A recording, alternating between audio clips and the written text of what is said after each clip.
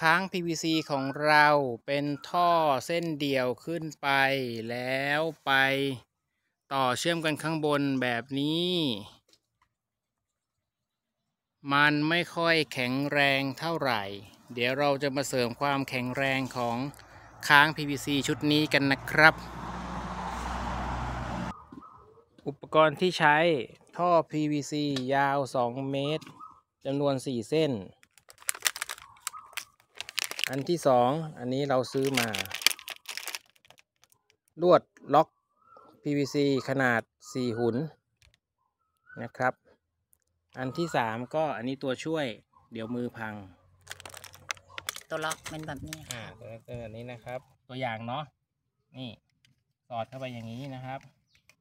แล้วก็เอา PVC ที่เราจะขวางมาไว้อย่างนี้ แล้วก็เอาลวดเกี่ยวปึ๊บ อันนี้อีกอันนึงเนี่ยมันค่อนข้างจะแข็ง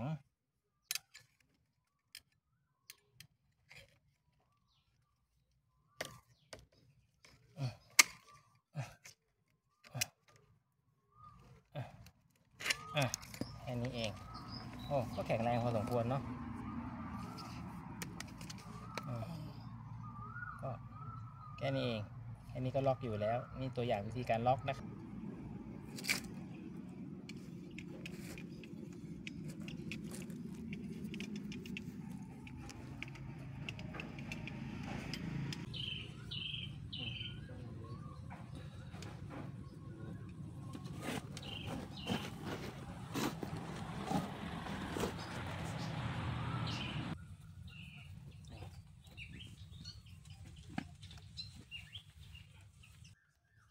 มุมนี้สวยเลย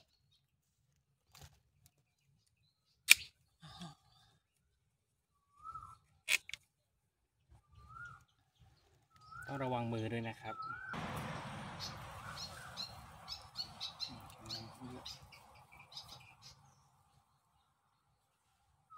แตงกวาไม่สวยเลยครับ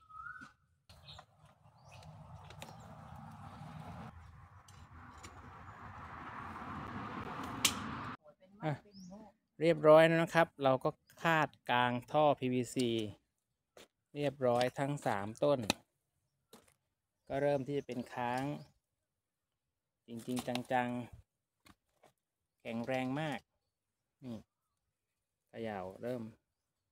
ดูดีขึ้นนะครับ เดี๋ยวต่อชั้นสองอีกนิดนึง อ้าว เราก็ล็อกสองชั้นเลยนะครับ จะได้เหมือนราวตากผ้ายิ่งขึ้น ก็เพิ่มความแข็งแรงขึ้นมากเลยนะครับ นี่เขย่ายังไม่เป็นไรแล้วเดี๋ยวค่อย หาตะข่ายมาคุมข้างบน ให้เขาเลื้อย ครอบเป็นหลังคาตรงนี้นะครับ อันนี้คือแผนที่วางไว้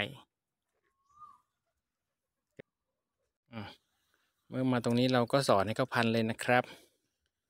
พันตรงนี้เลยนะลูก ของใหม่มาแล้ว ปั๊บโอ้เดี๋ยวไต่ขึ้นมาบนนี้นะครับ เกษตรต้องง่ายบายต้น